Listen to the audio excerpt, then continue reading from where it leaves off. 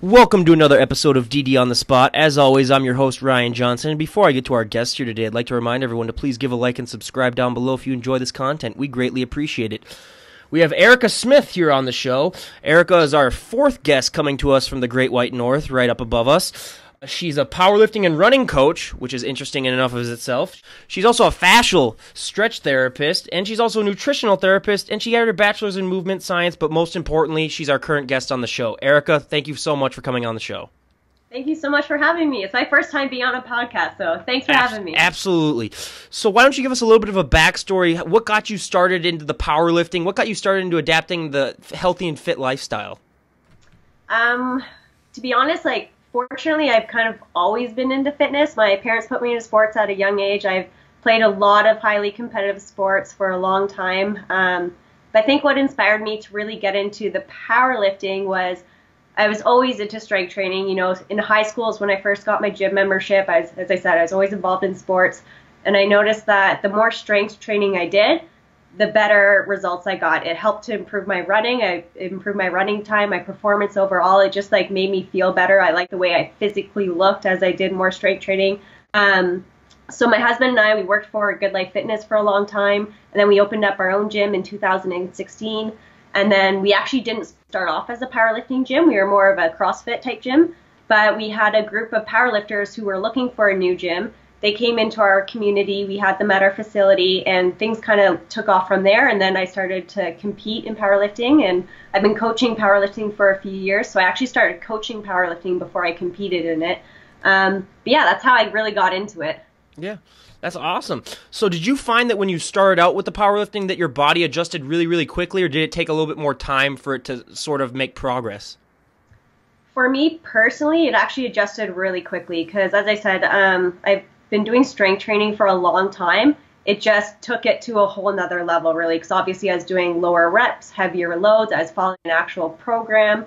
So my my body personally adjusted quite well, but for most people, if they haven't done strength training before, it will take quite a while to adjust because if you have any mobility or flexibility issues, you have to fix that before you can do these heavy compound movements just exactly like me. I'm six three, so anything that has to do with flexibility or anything that's that's not really going to work out for me.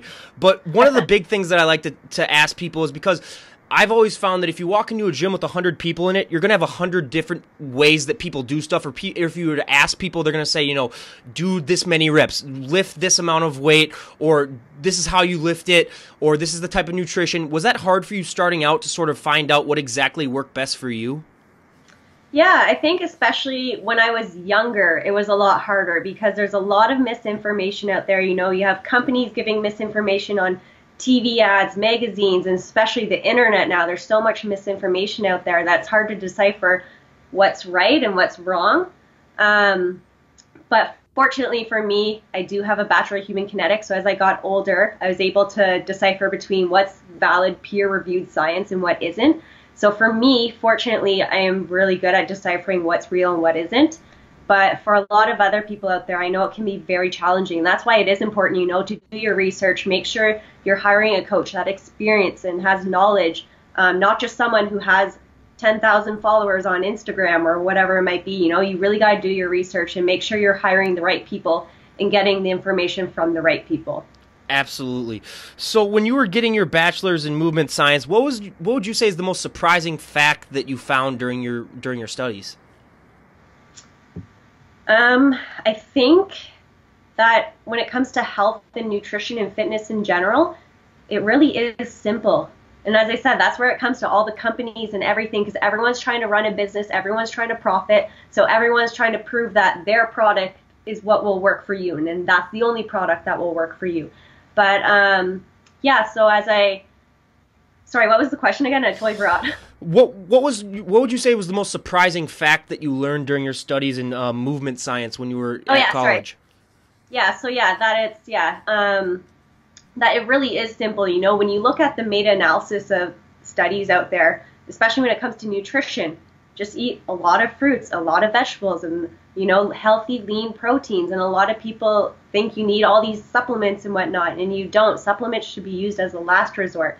It really is simple, you know, just keeping it basic, eating wholesome, natural foods. A lot of people are always looking for that quick fix, mm-hmm. but when you look up a lot of the highly intelligent people, there is no quick fix, you know? it's, it's just taking it slow and steady, making the right small changes at a time, and over time you'll build those healthy habits. Mm-hmm.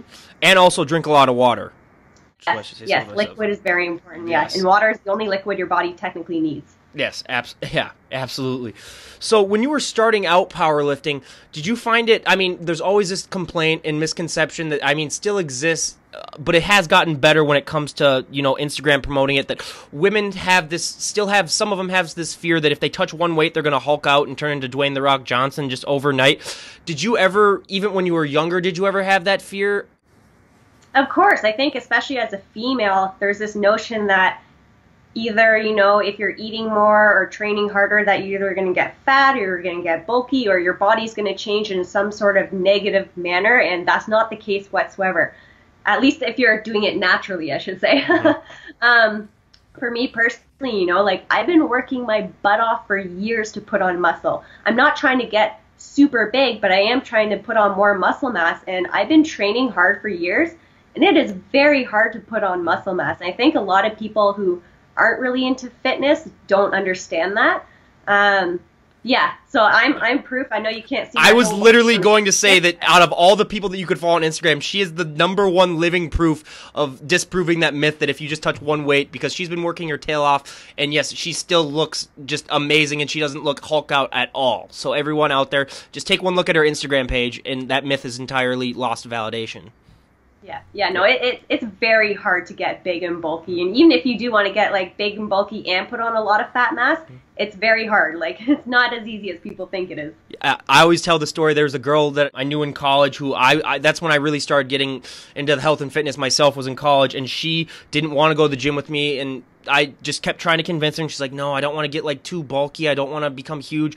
And I even told her, I said, "The purse that you carry when we go out to like nightclubs or anything like that weighs more than a lot of those weights that you'd be using in the gym, and you don't get bulky." Yep. So then that finally convinced her, and then she ended up losing some weight and getting a lot healthier, and then she really thanked me for it. So I just think it's one of those things too where especially for women, once you get there and once you actually start and you realize that it's not true, then that really, really helps. And there's also that misconception that the gym is just going to have these big, burly guys that are just going to like taunt you or say mean things to you. But people don't realize when you get to the gym, 99.9% of the people there do not even know that you exist. They're too busy focusing on their own workouts. Exactly, exactly. So, I 100% agree. And honestly, as a gym owner and as someone who's been in the powerlifting industry for a little while, 99% of the biggest, bulkiest guys and uh, females as well are the friendliest people. Absolutely. I kid you not. Like 99.9% of them, mm-hmm. you look at them, they look intimidating, especially if they have, you know, they're they're big, they're muscular, they have all this powerlifting equipment. It seems intimidating, but you get to know them, and they are the friendliest people. It's it's amazing. Oh, from yeah, from all the health and fitness guests I have on, I couldn't agree more. Yeah, they are so nice. We had one girl on here who could bench like 380 pounds, I think was her top thing, and she was one of the nicest people I've ever met in my entire life. So yeah, it's just it's just such a big misconception. That's one of the questions I like to ask them is like, do you ever have to feel you have to ever have to be extra nice? And then they always say, yeah, unfortunately we do. So that's one of the things that I think is tragic about that. But when you were starting out, how did the nutrition come into play? Was that early on, or did it sort take a while for you adapt the nutrition aspect? Um, well, for me, as I said, because I've kind of always been into health and fitness, nutrition has always been important to me. I started really focusing on my nutrition when I was in high school. As I got older, I focused on it more and more and more, but especially as I got more competitive, especially with the powerlifting, with my running, um, the more I was training and the harder I was training, the more important the nutrition became. So as I continue to get older, I just continuously hone in on my nutrition more and more I'm constantly making improvements over time. Mm-hmm. So when it came down to the nutrition, most people don't realize when you are putting on muscle, when you are getting bigger, you are more than likely going to have to eat more than you had eaten, even if you were out of shape before you started getting healthy. Was that hard for you to eat more, or did it just come naturally where you're just like, oh my god, yes, I can eat finally eat more? Um, no, it definitely is harder, and especially everyone's. It's so individualistic, right? Like for me, I, when I was trying to put on weight, I was going through a lot of stress in my life, and when you're, at least for me, when I'm stressed out, it's very hard for me to eat more. Um, but I would say in general, it's worked out like amazing because obviously you're as a powerlifter i'm putting on more muscle i have to increase my protein intake if i want to continue to improving my strength um, overall. So for me i just made small increments over time and i've noticed that my weight has just maintained. I haven't increased weight at all. Even though i've slowly been increasing my calories increasing my protein intake my weight has maintained. My strength has continued to improve which is really good. Um, so for me it wasn't too hard for me, as I said, because I didn't make any drastic changes. I just made small changes at a time. But it's been amazing because the more muscle mass I put on, the higher my basal metabolic rate is. So you're obviously burning more energy. You need to consume more calories, consume more protein in order to um, sustain with the training I'm doing. So who doesn't want to do that, right? Who doesn't want to be able to have to eat more, or who doesn't not want to eat more? Absolutely. So, what has the struggle been like for you personally? I know when everyone gets the image of a powerlifter, they think about someone who's like 300 pounds, who's just benching, you know, basically like lifting refrigerators, basically. When and when when they look at you, they think they, people are kind of like, "Huh?" What has that struggle been like for you at the gym, or is it kind of? I've always loved, loved to ask this for, especially for when we have people that are a little bit shorter on too is there is that such a great feeling when you go in the gym and then people see you and then they don't expect you to then just rep max out all this stuff and then just to see their faces drop? Is that something that you enjoy? Oh yeah. It's yeah for sure. I definitely enjoy it because people always underestimate me. Like oh she's just a short little blonde girl. She's just a skinny little girl. Like what what can she do really right? And especially when i go into a corporate gym they're not used to seeing powerlifters and whatnot. If you train there like everyone's mind blown. Like whoa where did this come from?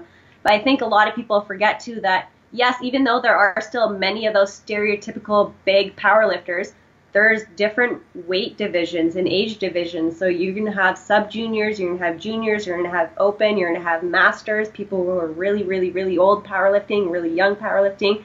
Same thing with weight.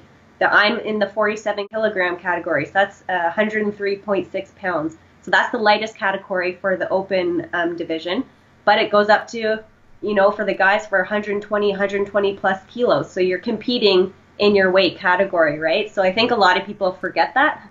Yeah. So like if someone would say like 400 pounds, is there a max amount of weight or a max amount that you can weigh in order to compete? Or is it just like, there's just like a 20, or is this like a 120 kilogram plus division then? Yes. Oh. Yeah. So that's the biggest one for the males is the 120 plus. So whether you're 121 kilograms or you're 250 kilograms, you'll be competing in that same category. If you're 250 kilograms, uh, you probably wouldn't be able to walk to get to the bar, but that would definitely be an interesting, interesting sight to see. So, at what point did you decide that you wanted to do like a powerlifting competition? Was that early on, or did it take a while to sort of get that mindset?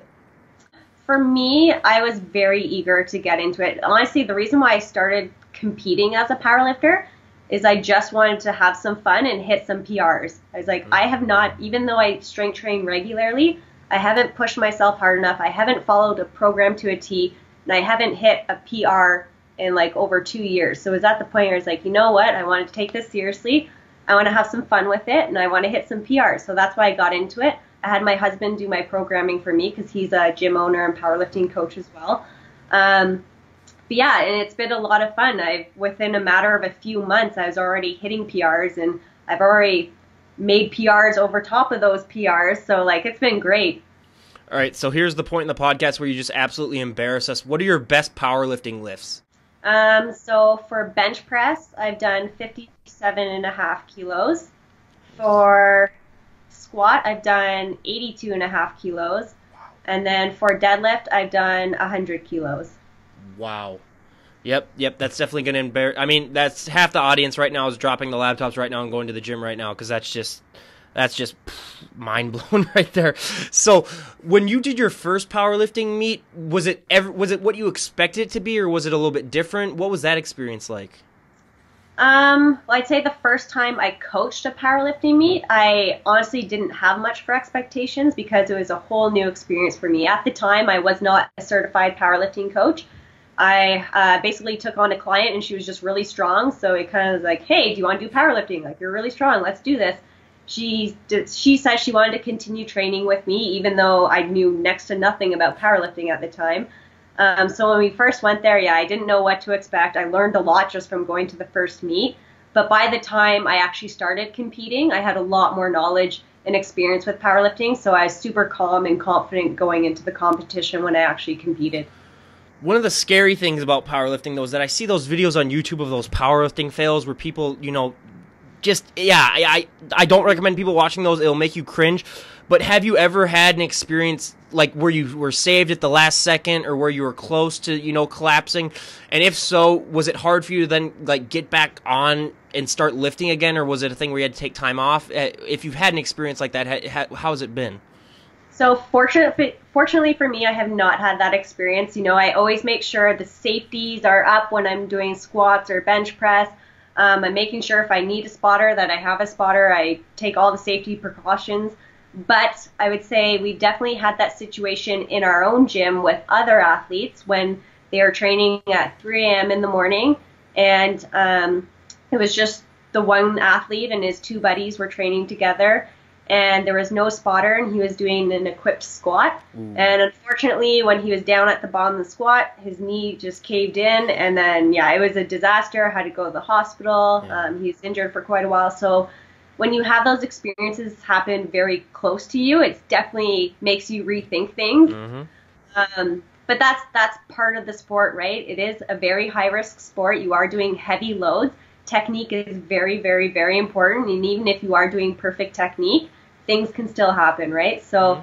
it's definitely an eye eye opener when that kind of stuff happens. But fortunately, as I said, for me, I take the safety precautions seriously, and I've had none of those issues yet, and hopefully, I never will one of the benefits I think especially for you being that you don't look like a bodybuilder, you don't look like really a power lifter is that you're kind of anonymous not not saying that like you're like people don't recognize you but like you don't have the constant stares you don't have like the attention that someone like that would get do you think that that is a positive thing for you or do you think that that sometimes makes people underestimate you and that can kind of lead to them not maybe being so inclusive um, for me i view it as a positive you know like I, I'm I'm a very shy person, so I don't want all eyes on me to begin with.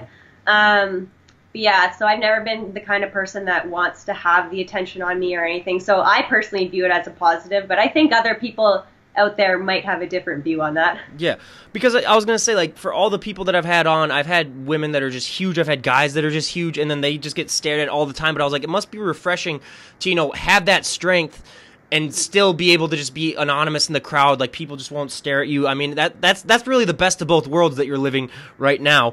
So what would you say is the number one misconception that people have about powerlifters in general that that you would that you would like to break? I think it's honestly kind of what you just mentioned there that all powerlifters are these big, bulky, stereotypical physique powerlifters, and that's not the case whatsoever. Like, yes, I did running for a long time. I still do running. I compete both in running and powerlifting. Um, but obviously, when people look at me, if they look on my social media, I'm five foot two. I weigh 100 pounds. I'm not the stereotypical, bo- uh, sorry, powerlifter body, but yet I do have a lot of strength, which mm-hmm. is kind of fun because obviously then when people see me on the platform or they see me training in the gym, they're like, oh no, she can actually lift weights. She is strong, you know. So it, it's it's definitely fun to prove people wrong. you probably aspect. make people's day though when they see that and they're like, oh my god, you guys, you can't believe what I saw at the gym today. This li- this little girl came up and she was just she was just killing it. Like I don't know what's going on. So and it helps to influence the younger people as well, oh. right? If there's young little girls out there that are yeah. tiny, they see someone with my physique mm-hmm. actually lifting heavy weights, and they're like, oh hey maybe I can do that too. Or like we said, especially, or people that are afraid that they're going to get too huge, you, they just look at you and then they'll be like, "Oh, so you can, you know, maintain that look while exactly. still being super strong." So, and that's probably the, the, most positive thing that I just can't thank you enough for because there needs to be more people like that out there that represent that. Especially, you know, with Instagram out there and everyone posting pics all the time. But when it comes down also to the to the lifting aspect, how does your running do you think affect it? Because when it comes down to running you're really burning off a lot of calories then that you could use for um, building muscle. Have you found a way to compensate for that or is it one of those things that you think actually helps you? To be honest i would say the powerlifting helps my running performance quite a bit. It helps to improve my fast twitch muscle fibers and um, but when the other way around i would say technically yes my running does impede my powerlifting a bit but that's because of the way I choose to train. I do basically about, on average, I say 10 minutes of cardio. and then I do my powerlifting training, and then I'll do another 10 minutes of cardio afterwards. So doing that cardio beforehand, for me, I use it more as a warm up. I technically usually feel better when I do that. Um, but when you look at the science behind it, yes, it is technically impeding my powerlifting a little bit, but not that much. And to me, I love both sports, which is why I choose to compete in both sports. I don't think I'm ever going to be the best 47 kilogram powerlifter in the open female division. Maybe one day I will, who knows? But for me, that's not the end goal. I I really do enjoy both, both sports, which is why I choose to compete in both sports. Mm-hmm. But they do they do really do complement each other very well overall. What was it like the first time you put on? I I don't know what it's called, but that really stretchy thing that they make you wear when you're doing the powerlifting meets. Is it just a unitard or what is? It?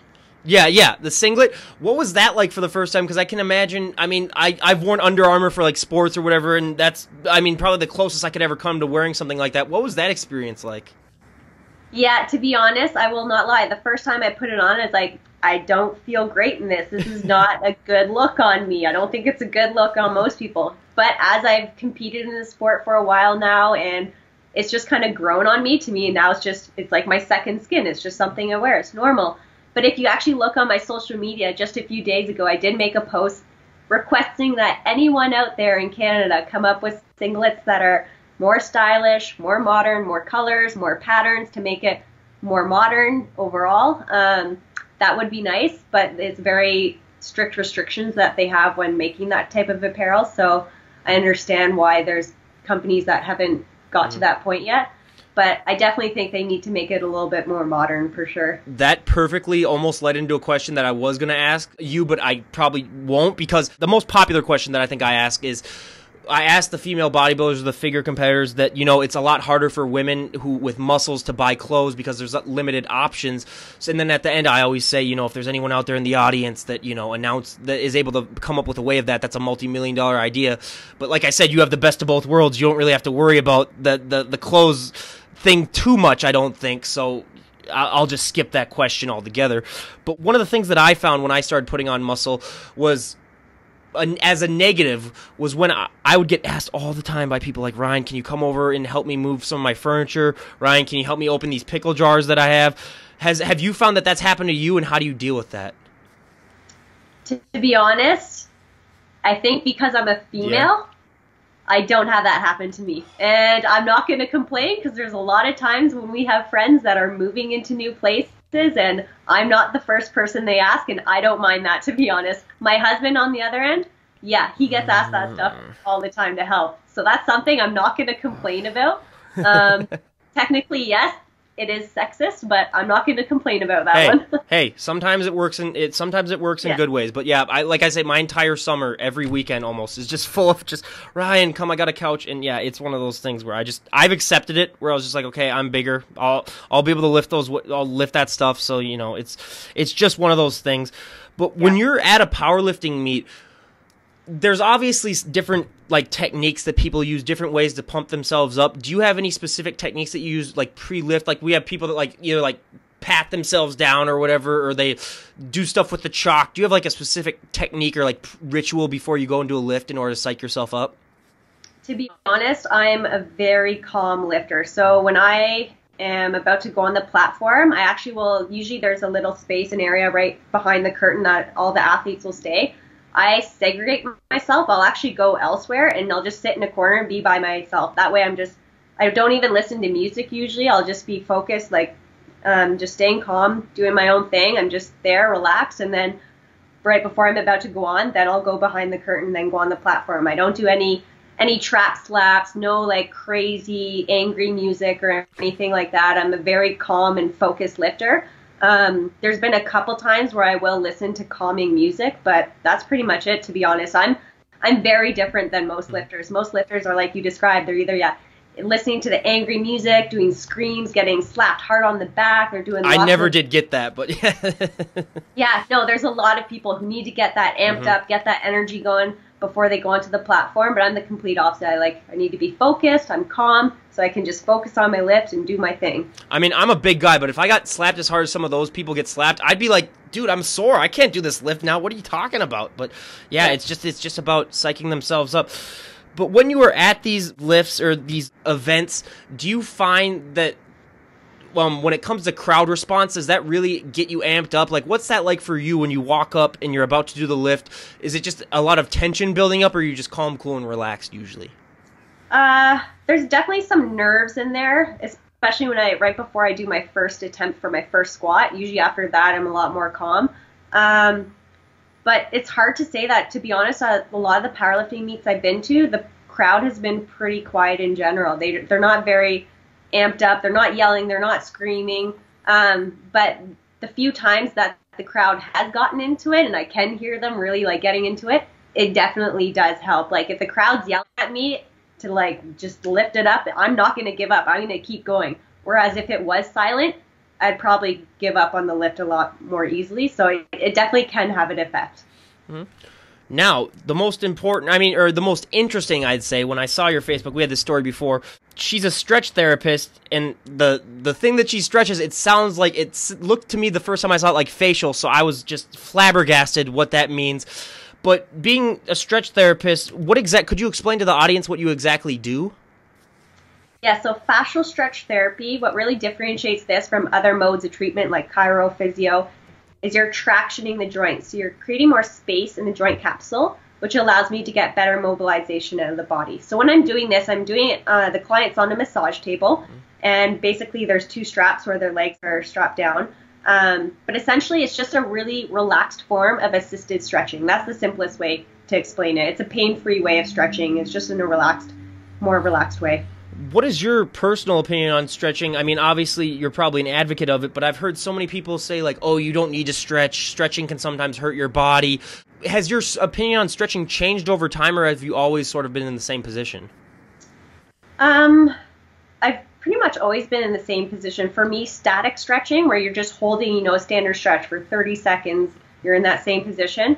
That's something you should always do after a workout to help uh, relax the tissues, especially if you do strength training. Strength training really tightens them up and it just allows the tissues to relax more. Um, there's some conflicting research. You know, people used to think that if you did that before a workout, that it would actually negatively impact it because you wouldn't get as much uh, power out of it. But now there's research showing that that's not so much true anymore. Um, but definitely, I still stick to just to be a little bit safer, doing more dynamic stretching before a workout because that way you don't have to worry about relaxing the tissues too much or anything, but they're still getting relaxed enough that you don't have that tightness or pain that you were experiencing. But that's where things like foam rolling are really effective as well. Um, I like to do that either pre workout, intra workout, or post workout. I find it can help, same thing, just like dynamic stretching, it can help to relax the tissues, but not to the point where you're so relaxed that it's going to negatively impact your workout or anything like that. Mm. So, how important to you is what or what would you say is the most important thing when it comes to stretching just to make sure that you're not overdoing it and to make sure that you is there like a limit that you should know as a person when you're stretching to know like oh okay I probably shouldn't overdo it um I think that's where things like hot yoga and stuff mm-hmm. like that can be you have to be careful with that because since, since you're in such a warm environment it's easily easier to um, do more of a stretch and overstretch your tissues but if you're in just like a normal environment, normal temperature in a gym setting or something like that, generally I tell people just you should feel a little bit of a tension, but you shouldn't be in pain. If you're in pain, you're probably pushing yourself too much, but you should feel a little bit of tension. You should feel that stretch actually occurring. Is it hard knowing that people's bodies are so differently? They all come in all shapes and sizes that people's stretch points are going to be different. Like obviously, if you have a taller person, they might not be as flexible as a shorter person. Is that hard for you at first to sort of gauge what a person's limit is or what benefits them most? Yeah, it's all it's all individualistic, right? Because for someone who sits at a desk all day and is working at a computer from nine to five, five days a week, their hips are probably going to be really tight versus someone else who's a gymnast and they're doing they're a professional gymnast that's what they do you know they're an olympian who's training everyone's body is very different. It depends on your daily activities. It depends on your lifestyle. Um, so that's why, in general, yeah, my general rule is just like you should feel tension but no pain. So now, being a nutritional therapist, what would you say is the biggest misconception people have about healthy eating when it comes to nutrition?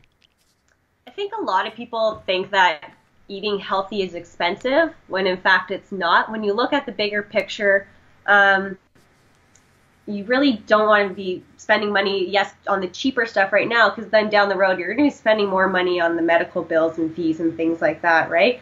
And a lot of people think that, yeah, having eating out, it's a $10 meal for lunch, a $10 meal for dinner, $5 for this snack here and there. When you're doing those small increments, it doesn't seem like mon- that much money. It just seems like chunk change. Whereas when someone goes to the grocery store, usually they're buying in big bulk, right? They're buying all their groceries for the week. They're spending $200 right then and there. So it seems like it's really expensive. But for me, when I actually compare when I eat out versus when I get groceries and I make my food at home for that entire week, getting the groceries and making my own meals is actually much cheaper than eating out for every meal. Mm-hmm.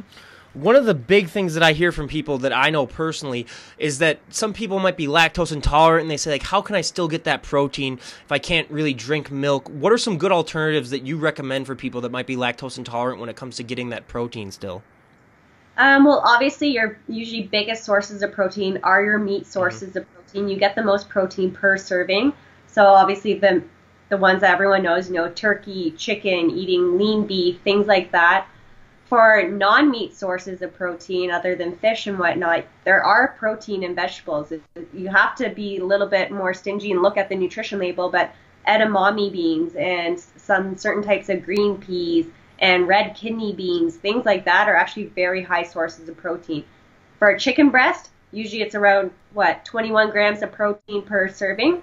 When you have half a cup of beans, that's exact same. It's around 21 grams of protein. So you just have to sometimes, you know, for some people, it's really easy. Actually, you just go on Google or whatever. You can find lots of sources of protein that don't have lactose in them. Yeah, I could I couldn't agree more. So before we get to our audience favorite part of the podcast, the questionnaire, you mentioned before that you have a husband, and I'm just I love asking couples these questions. So we're gonna ask like three quick questions and get just get your answer. So, how did you and your husband meet?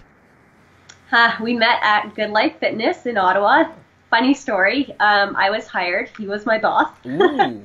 so in the beginning, it was a big no-no. I was like, no, you you never date the boss. You never date your staff member. So I I didn't tell anyone that I was interested in him. No one knew, and then I actually found out that he was interested in me, and that's how things kind of flew from there. did you have? Were you still working there when you started? Did you kind of have to say like, hey, this isn't going to work out? How'd that work?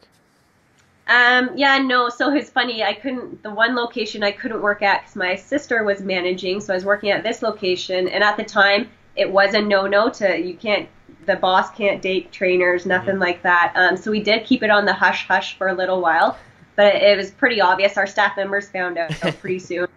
Um, so we just had to keep it a secret from our regional manager mm-hmm. because if our regional manager found out, then he would have moved one of us to a different location. So yeah, we kept it on the hush hush until we moved out to Calgary, and then it wasn't an issue or anything. Oh yeah. So where did you guys go for your first date? Um, it's funny actually. We went to a bar. We went to a local pub right by the gym because he gave me the choice. I believe it was going for mini golf or for going to the pub. Mm. And I decided to go to the pub because I knew I was super super nervous and I knew that having a little bit of alcohol would help to relax me a bit. So I chose going to the pub. Well, here's what you do: you go to the pub and then you mini golf after the pub. We could have done that. You see how good you are a little intoxicated at the mini golf. Now that makes a really, really interesting night. So, lastly, how did he propose to you?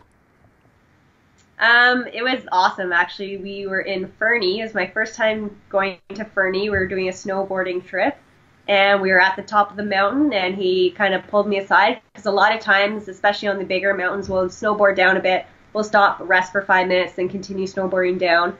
So at one point, um, we stopped near the top, and then we walked over to this area that had like a beautiful view of all the landscape, all the mountains. And that's, you know, he started telling me how much he loves me and all that stuff, and got down on one knee and did the proposal. And so yeah, it was it was a really good moment. It was a really special moment. That's that's awesome. Yeah, I, I'm just a sucker for those stories, so I love hearing them. But now we get to our audience favorite part of the podcast, the questionnaire, sort of a getting to know you, where I'll ask you about a dozen or so questions. We'll get your responses, and we'll see we'll see how they match out with everyone else. So for the first question, what is your go-to workout song right now at the moment?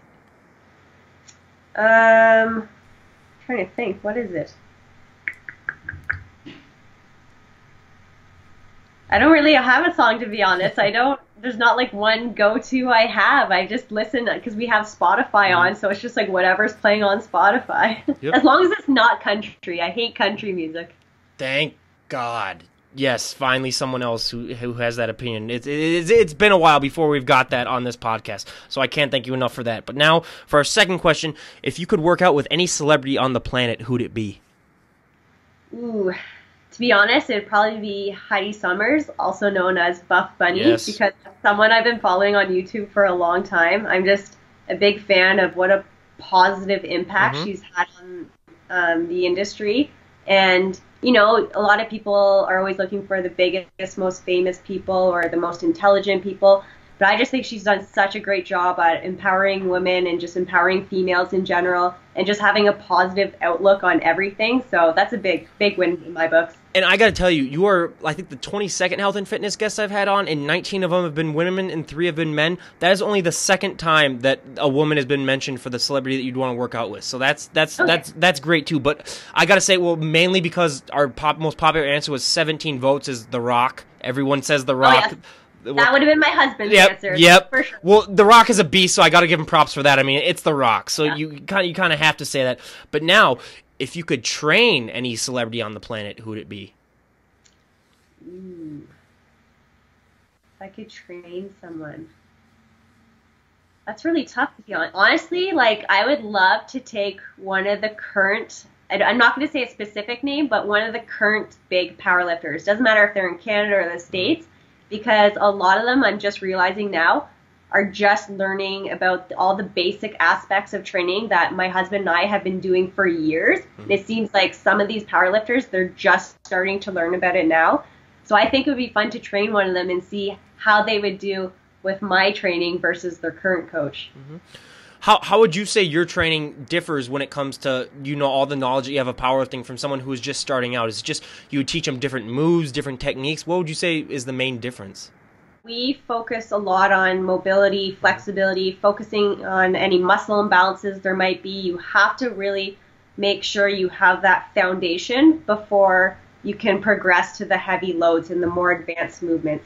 A lot of people just want to get big and bulky fast or lose weight really fast or whatever their goal is. They try to really skip the basic steps and just go to the big weights and the big compound movements and you're going to cause more harm than good when you do that in the long run because you're just putting yourself at risk for injury that way. So we take into a lot of factors, not just that stuff. We take into account nutrition, we take into account their sleeping habits, how they're managing stress because all those lifestyle factors have a huge um, impact on not just your training but how your body recovers as well. And obviously the recovery affects your training, it's that cyclical cycle. So I am super happy because we'll we'll we'll pause the questionnaire now for probably the next minute.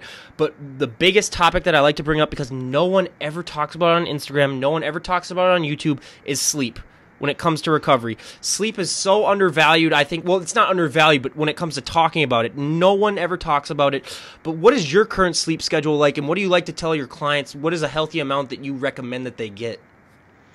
So I think for most people, to be honest, most people do need around seven to eight hours of good quality sleep. That's what, just from personal experience over time and with the experience with my own clients and whatnot, I find that really is the kind of magic number. Not for everyone. Some people, depending if they have, you know, a hard labor job, maybe their body does need more sleep. They need more time to recover and whatnot. Um, but yeah, sleep has a huge impact on your training and your recovery and everything. So sleep is very important. I think it's very undervalued to most people. Sleep is huge except the only person that i've never seen it affected to in my old gym we had an ex-navy seal and that guy he came in a few days and he'd be like yeah i haven't slept in 48 hours but i figured i'd come and lift today or whatever. And that that's just from his seal training that he's just used to that crap. So i was like okay dude i don't know what you're made of but that's just the most amazing. And he'd still be like doing his regular lifts. Like no none of his weight or anything would suffer. And i was just that was the the, one of the coolest things I've ever seen in my entire life. But now back Yeah, to rare. Oh yeah, but those often. seal those seal guys are just they're just a whole different breed of human. So that's just oh my god. But now back to the questionnaire. What is one item that you always need to have in your fridge?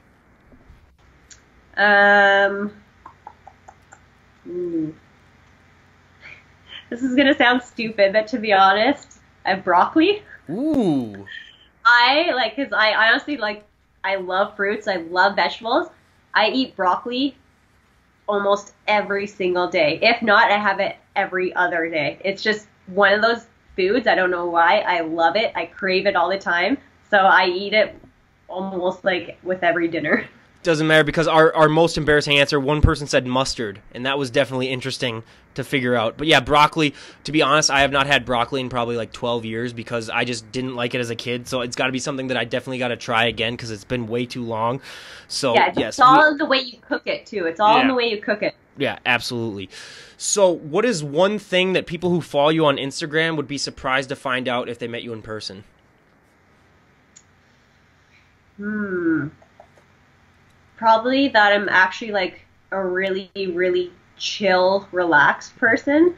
Even though my social media, like I do love physical activity, I do lots of physical activity. I'm involved in doing stuff all the time snowboarding, hiking, running, mm-hmm. powerlifting, obviously, all those things. But when I'm not at the gym or I'm not doing those activities, I'm just usually on the couch, relaxed. And that's what I like to do. I- When I'm at home, I'm in my chill zone. Yep. Yep. What is one thing that you find funny that most people don't? Mm.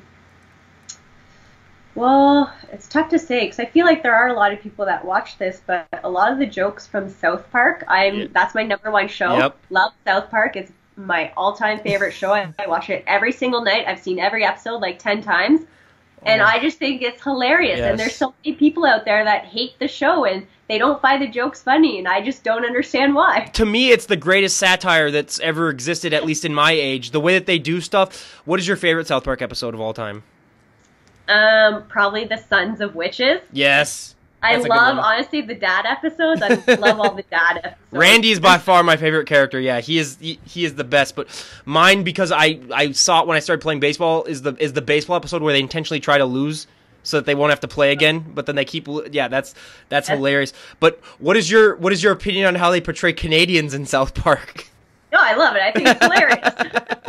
I always love it when they did like the royal wedding one where they did all those traditions. Oh, that was that was so funny. But Oh, yeah. yeah. Yeah, I, that's the one of my favorites is whenever they do the Canadian stuff because it's just it's it's just so out there. But yeah, it is such a great show. So I was gonna ask what your favorite TV show is of all time, but we've already had that answered. So what was the last TV show that you binge watched? Um, to be honest, uh, Ozark on Netflix. Yeah. I just watched the second season recently, and typically I'm not into those kind of shows, but my husband was the one who introduced me to it, and yeah, I got hooked on it right away, and we watched the whole season within like two nights. Mine is a show that you probably would never guess. New Girl. I binge watched that on Netflix. Okay. Yeah, and that and I that was surprisingly good. Yeah. I've only seen a few episodes. I've heard lots of positive feedback about that show, though. Well, and I was and I was gonna say Friends, but I've seen that like 15 times, so that doesn't even that doesn't even that doesn't even count. So, what is a what is your guilty pleasure movie or your go-to guilty pleasure movie? Um, ooh. I don't know if this is so much a guilty pleasure, but it's I'm a big fan of um. Wow, sorry, I'm totally blanking right now. Pitch Perfect. Oh, yep. Yeah, and to be honest, when it first came out, I did not care about that movie at all. My husband was the one again who introduced me to it, and I was like, "Wait, this movie is hilarious." So yeah, I'm a fan of that. Okay, you're gonna have to control yourself now because what I'm about to announce, I was gonna announce to the like later on, probably in a week or so. But I have been emailing with um Anna Camp. You know her; she's in the movie. Yep. the blonde, her agent, and she's going to be coming on in a couple of months because she launched a charity. And I told her about this page, and I said, you know, we'd love to have her come on talk about her charity, pr- promote that. And they said, yeah, give us a few months. And then we finally scheduled a date. It is November thirteenth. She will be on this podcast. And I did say, I was like, and by the way, I will ask a few pitch perfect questions. They said, yeah, it's fine, no, no worries. So yes, everyone out there, November thirteenth, Anna Camp will be on the show. You heard it here first. So pitch perfect. And I gotta say, my guilty pleasure movie, Princess Bride. I don't care. Okay. I don't care. That's my ultimate date night movie. Watch it anytime. That that to me, it's yeah. I I I hate to admit that, but it, it just it's a great it's a great movie. So you gotta you gotta you gotta do it. So what is your favorite flavor of ice cream? I'm honestly very boring. I'm a vanilla person. I don't, but to be honest, I don't have much ice cream. I've never been a huge ice cream fan, but if I were to have ice cream, it's always vanilla and plain and basic. It's always a good go-to for me. Mm-hmm. Now, we're similar in that we both live in climates that can get very, very cold during the winter and can even get cold in the spring. How is that like for you when it gets super cold? I mean, we'll have light where it's only light like eight hours out of the day. How does that affect your training? Are there some tips that you have for other people that live in cold climates to still have that motivation to go to the gym, even though they never they never even want to leave the house? Yeah, I tell them to suck it up. Seriously, like I in the winter, I'll still run outside on average like once a week, even if it's a snowstorm. Mm-hmm. I, I just suck it up. I layer up and I go do it. You just got to prepare properly. So you know, if you if no matter what your goal is, if you're serious about that goal, you will do whatever it takes to get there. So that it just tells you if their if their goals are important to them or not. Well, and I tell people too, it's like, what else are you doing? There's nothing else to do outside. What that's the all, that's the perfect time to work out. You have so much more free time on your hands, and it's just yeah, it's one of those things. So now we have a few questions here left. What is one item that you would die to have if it went up for auction? Ooh, that's really tough. One item. It could be any item in the world. Any item in the world. Ooh. Um. I honestly have always really wanted a really nice fancy sports car. Don't know why. As a kid in elementary school, that's just something I've always wanted. Doesn't matter what type. It could be a, it could be even like a Lamborghini or anything. I don't care. I just want a nice little sports car. I've always thought they look really cool. That yeah, that would be that would be awesome. We had one competitor on here. She was a figure competitor, and she said that she would want an entire diamond bikini to wear her next competition because she said the judges wouldn't be able to, to take their eyes off her. So then she'd obviously win. And I was like, hey, that's a winning strategy, I guess. And then another person said that they want some piece from like Titanic, stuff like that. Me personally, I don't know what I'd want yet. I have a few more podcasts to go before I think I'll answer it, so I can have a little bit more time to reflect on it. But if you could have dinner with any historical figure, who would it be? Oof. That's it. See, that's a tough question for me. I've always been really bad when it comes to knowing famous people and celebrities and their names and everything. So I don't know. Like the first person that came to my mind was someone like it sounds corny, but like Albert Einstein or something mm-hmm. like that. But if I had more thought about it, I don't think that would actually be my answer. To be quite honest, I don't know. That's that's really tough. what is one thing if you had the all-seeing power and you could change anything about the sport of powerlifting what would it be ooh if i could change anything about the sport of powerlifting mm-hmm. so let me just start by saying i understand why athletes use equipment and how it can benefit but for me personally if i were to change it and have my own federation it would be a true raw federation so you're wearing socks you're not wearing shoes just like regular socks you're not allowed to use knee sleeves. You're not wearing a belt. It's just your basic, basic movements that you're doing. So um, to me, it would be like a true raw powerlifting federation. Mm-hmm. They're not out there. There there are raw federations, but you're still using equipment in them. So that that's just me. So for two things, I've always wondered what do those belts actually do? Those big belts, what they wear? What are they? What are they for usually? Yeah. So a lot of people think that it helps to keep your back neutral, mm-hmm. which isn't the case. It indirectly helps with that, but what it actually does is when you're wearing the belt, it helps to give you that more diaphragmatic um, breath and pressure in your stomach. So you're getting more intra abdominal pressure. It acts as a force to push against that belt, and that indirectly helps to keep your back more neutral. And if your back's neutral and everything's more tight, obviously you're going to have more stability, more power when you're doing the lift, and it's a lot more safer overall. But just wearing the belt isn't going to help to keep your back neutral. You have to know how to do that proper brace bracing of your core in order for it to work mm-hmm. effectively. And you said also no shoes. Is there a specific reason as to why you wouldn't have anybody wear shoes? Yeah, so a lot of lifters, when you look at a lot of powerlifters, they'll wear the special lifting shoes that have that elevation in the heel, and it helps them to get more depth in the movement. So for me, if a lot of, or in a lot of powerlifters didn't use those lifting shoes, um, they probably wouldn't even be able to squat to depth, to be honest. A lot of people, it's very different when you're um, squatting in a flat shoe or just on your bare feet or in socks or whatever versus wearing that lifting shoe makes a huge difference. So for me, I have no mobility issues. I can squat what they say ass to grass, no problem without wearing those shoes. But a lot of lifters, the second you take those shoes away from them, all of a sudden you can tell their mobility restrictions are kicking in because they can't squat properly. They can't squat to depth anymore. So to me, that would be really cool to see. Um, what a big effect that would have on a lot of lifters. I've always had a question too about like specifically the bench press when it comes to powerlifting. We see all these powerlifters; they do the thing where they have their gut. It's basically like they're they're pregnant almost because they're they just have their belly straight out. Yeah. They have their back arched. What is that for? Because I mean, I was always raised in the old school belief. I mean, that you just sit in a flat line, you just have it go down almost to your chest, and then just push it up. What is the reasoning behind that arching the back and having yourself like at an incline? Yes. So the main reason why most people try to get as big of an arch as they can in their back is when you think about the sport of powerlifting, ultimately you're trying to move the most weight, right? So if you have that big arch in your back, you're decreasing the range of motion from the bar to your chest. So if you can do less range of motion, you can ultimately potentially lift a heavier load. But the other main reasoning is when you actually do that arch, if you look, it follows the natural curvature of your spine. So when you do that arch, it's actually safer when you're doing a bench press with an arch back versus a flat back. Um, it takes a lot of stress off your glenohumeral joint, so less less stress on the shoulders. You're putting the stress on the right areas in your pecs, in your triceps.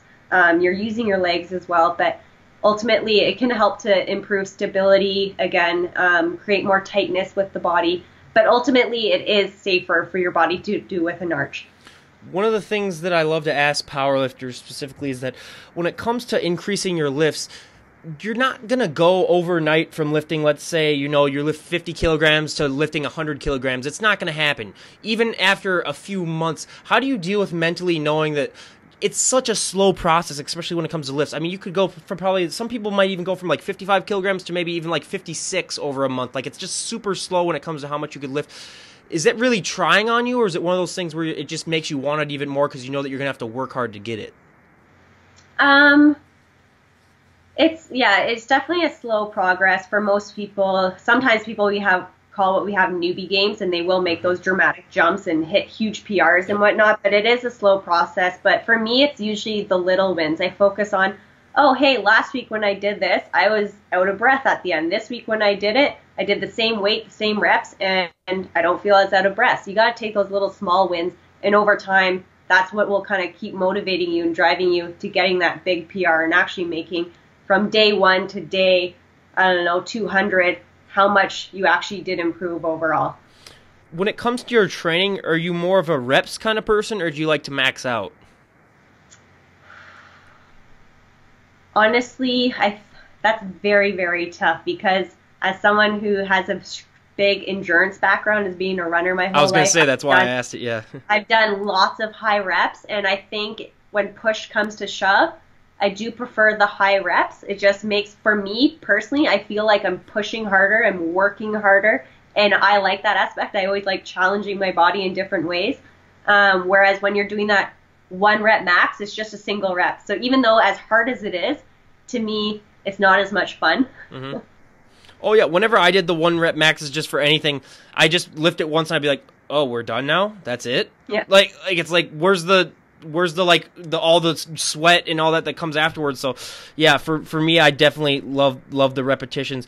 But when if someone were to walk up to you on the street and say you know hey i want to become a power lifter. I want to get into the powerlifting what would be the best piece of advice that you would have for that person in order for them to be successful? Not just you know lifting heavy but also just you know having doing it the right way and being successful in that they enjoy it.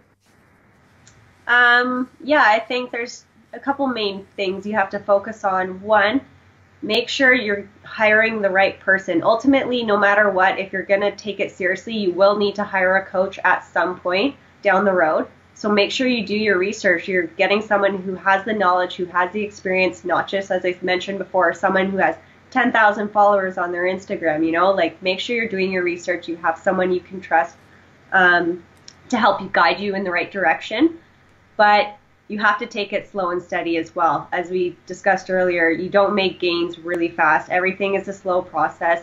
Um, so you have to you have to take your time with it.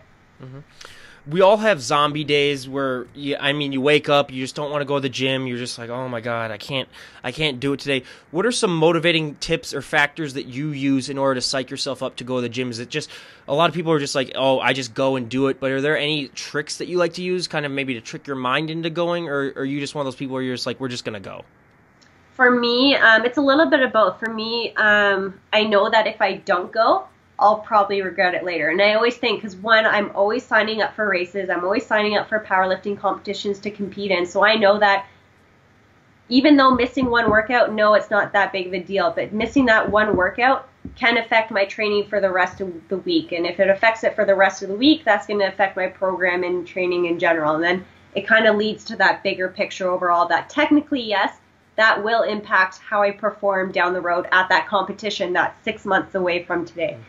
But I think the important thing is um, for people who you know don't have the motivation and whatnot is that's the reason why you have to create these sustainable, healthy habits over time. You make those small changes so that they're realistic changes, and then it just becomes a habit. Just like you get up, you brush your teeth in the morning every morning. It's the same thing as working out. It's just part of my lifestyle. It's just part of my routine. Even if I don't want to brush my teeth, I still brush my teeth. If I don't want to work out, I still go work out because I know in the long run it's going to make me feel better. It's going to make everything just better in the long run, really. And I got to say to everyone out there listening, if you do have those two options to choose from, brush your teeth, okay? brush your teeth. Don't go to the gym without come on now, people. You got to have you got to have some common sense here. But do you have any um upcoming powerlifting meets that you're getting ready for? Um, I haven't registered for any, but I think I may do one at the end of the year. If not, I'll for sure be doing one called uh, the Grit Power in Edmonton in January. That's always the first powerlifting competition in the new year. Um, so definitely I'll be doing one in January, but I would like to sign up for one before then if I can, but I haven't made any decisions yet. Have you done any powerlifting meets in the States?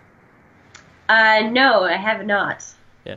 So I always like to ask this question to people who aren't from the U.S. on the show. What would you say? I mean, we are so closely connected when I think it comes to culture it, that a lot of times Canadians can seem like Americans or Americans some like like Canadians. But what would you say is the biggest difference in your in your view of Canadians and Americans? Um, the first thing that comes to my mind is politics, but yeah. uh, but yeah, no. Um I don't see a huge difference. I hear a lot of people, I think a lot of Canadians have this notion that oh, Americans, they have the obesity crisis, they mm-hmm. have all this stuff going on. But when you look at the statistics, Canada is very similar to America and those kind of things. Um, so to me, honestly, yeah, they're pretty much Canadians yeah. and Americans are very similar, so there's Absolutely. not much difference to me. Well, and plus, I, I, live in Minnesota, which is probably the most Canadian part of the United States. I mean, just obsessed with hockey. We have probably the, and we are like the healthiest state just because of our trails and everything. But we we have the sort of upper Midwestern accent that sounds a little Canadian, so I, I get that all the time. And I do have to say, I have told this story once before, but I'll tell it again the only other country that I've ever visited is Canada, but here's my story. So I had a friend that went up that was in college in Duluth, and if you don't know, Duluth is about a mile south of the Canadian border, right by um, it's close to Edmontonish that border. So I visited him over the over the weekend, and he was in class for like four hours. So I said, you know what? I, I want to go up to Canada and just like walk over the border and see what that's like. So I drove up to the border. I asked the border security agent, I said, Hey, can I just park my car on the US side? I just want to literally step over the border, take like a photo just to prove that I was in Canada, and then say, like, Hey, I'm an international traveler. And they're like, Yeah, thousands of people do that every year. They're like, Go ahead and do it. Just stepped over the border, took a picture, then got back in my car and drove away. So I'm technically an international traveler, but not in probably the lamest, lamest way possible. Yeah, absolutely. I know. I've always wanted to go to Quebec. That's always been the place I want. To. I don't speak a lick of French, but I've always wanted to. Say, be yeah, why Quebec? Just because I don't know. Like I've looked at the buildings like Quebec City, and it looked it looked really really cool. But then again, I was like, I, I don't speak French. I don't do any of that. But um, my brother played baseball for a summer in Kelowna on the on the uh, west coast and he really enjoyed it and then he said I, we always ask him we said do they really say a as much as it's advertised and he goes yeah it's worse it's it's more than what you'd think. So, and I you haven't said it yet in this podcast. Yeah, I know. I was like, she must be really good about it because she hasn't said this podcast. But when it comes to saying a, how how much does that ever apply in your powerlifting language? You ever go walk up to people and be like, oh, that's a nice lift there, eh? To be honest, it's part of my regular vocabulary, and I probably don't even realize the amount of times I do say it. But years ago, I remember someone actually pointing that out about how much Canadians say a and then I started to realize how much I say it. It is. It's part of my regular vocabulary. Like I couldn't tell you how many times I say it, but I know I say it on a daily basis multiple times for sure. Did your husband propose by saying you want to get married, eh?